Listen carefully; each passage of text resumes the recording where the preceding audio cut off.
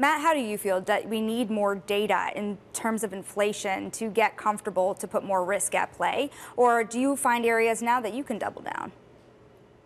Yeah, I would say we're more in the latter case. I mean, we think that leveraged loans um, are a nice place to be. Total returns, we think, for the rest of the year in kind of the mid 6% range. Um, and again, that's just for the next nine months. Um, but high grade and high yield as well. We have a forecast ultimately that inflation does come down.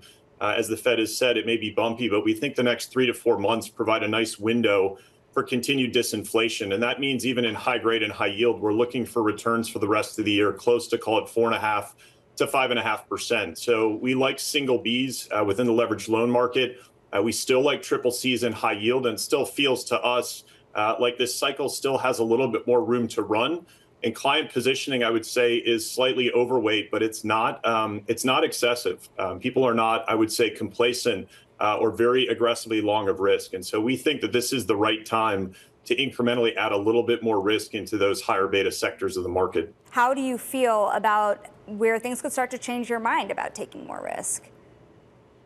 Yeah, I think Megan's spot on with, you know, with no landing, so to speak. The challenge in that environment, I think, is, you know, is the market really going to get concerned if the Fed ultimately, in terms of market pricing, goes from uh, pricing three cuts this year, let's say back to one?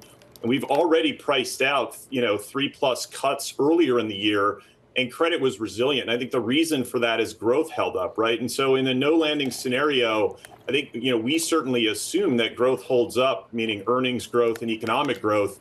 And so I think it's going to take some time uh, for that to translate into the Fed messaging, not just that we're not going to cut, but that we may need to start hiking again. And it's that point that I think is the salient one. If the market has to worry about another Fed hiking cycle, I think you will see credit spreads underperform. But the way that we've modeled that is we just think OER and some of the goods disinflation continues to come in the next couple of months, then you've obviously running into the second half of the year, have the election. And so I don't think the Fed really has time to shift that dramatically and the markets start to ask, are we actually going to have another hiking cycle until the very end of the year, after the election, or maybe even in early 2025? And that's why I say we think it's a nice time in the next quarter or two, you know, to add risk. Away from that, we're certainly watching profits in the upcoming earnings season, but I think the growth data means that nominal earnings growth is going to hold up quite well. Mm-hmm. The other thing right. I would say is systemic risk, but again, we're not seeing a lot of signs of cracks in areas like